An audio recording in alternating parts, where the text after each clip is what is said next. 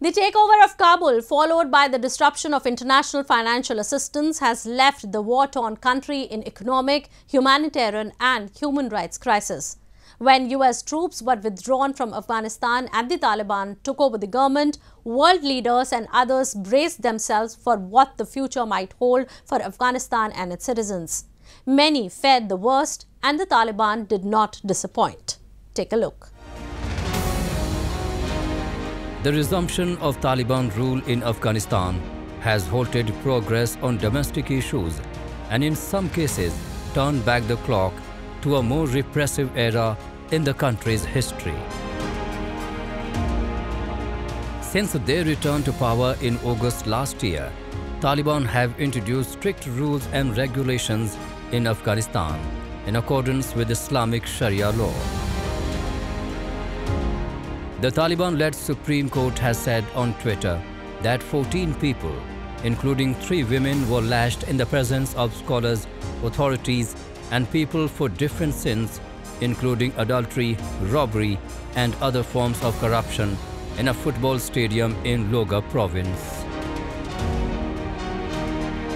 Since 15th of August 2021, when the Taliban stole power in Afghanistan, the situation in the country has deteriorated quickly.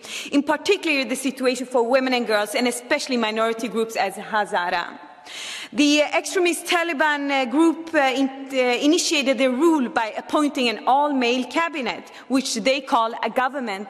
For me, as a social democrat and a feminist, it is nothing else than a group of terrorists that destroys the life of the people and the progresses made in Afghanistan.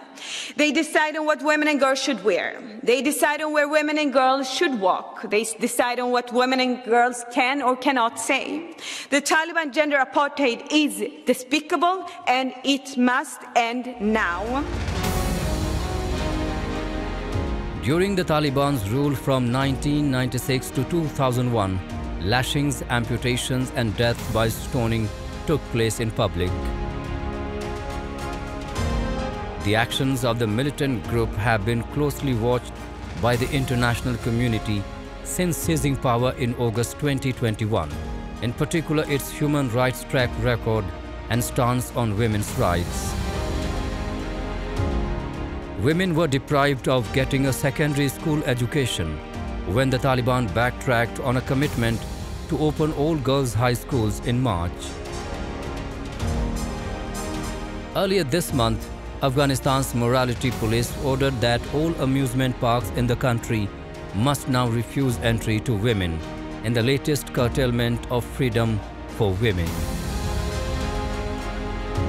Hundreds of loudspeakers have been installed in Afghanistan's capital Kabul to encourage worshippers to attend prayers.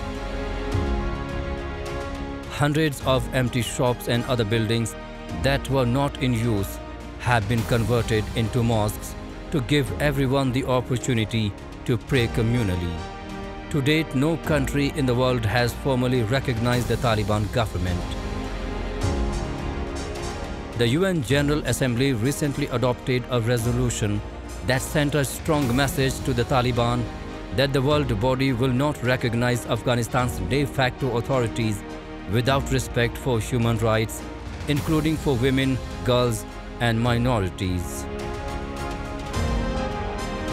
The European Parliament is committed to the people of Afghanistan, not to its rulers. The Taliban want women to be invisible. We want them to thrive. And until they can regain their rightful place in society, we will continue to amplify their voice. The takeover of the government, followed by the disruption of international financial assistance, has left the war-torn country in economic, humanitarian and human rights crisis. When US troops were withdrawn from Afghanistan, and the Taliban took over the government, world leaders and others braced themselves for what the future might hold for Afghanistan and its citizens. Many feared the worst and the Taliban did not disappoint.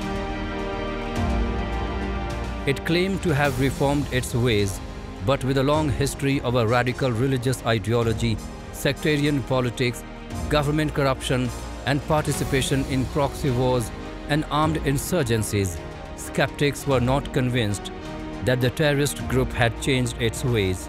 Their skepticism was justified.